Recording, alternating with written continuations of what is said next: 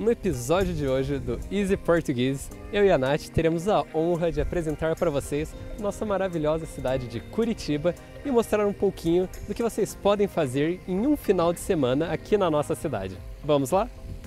Um dos lugares mais bonitos que você pode visitar em Curitiba, definitivamente, é o Jardim Botânico. Ele é famoso por essa grande estufa que nós podemos ver aqui atrás, a qual contém diversas espécies de plantas da Mata Atlântica, que é um bioma típico dessa região do Brasil. Um marco arquitetônico da cidade de Curitiba é a Ópera de Arame, um local em que são realizados diversos shows e eventos culturais. Mas mesmo que você não venha ver nenhum show aqui no dia que visitar, o espaço com certeza vale a pena a visitação, seja pela sua arquitetura ou pelas outras coisas que o lugar oferece.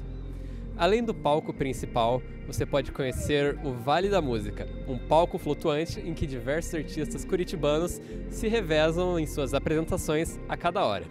Também o local conta com restaurante, café e uma trilha na natureza. Um dos cartões postais mais famosos de Curitiba é o Museu Oscar Niemeyer, nomeado em homenagem ao arquiteto que projetou o edifício. Porém, entre os curitibanos, ele também é apelidado de Museu do Olho, por causa desse formato característico que ele tem.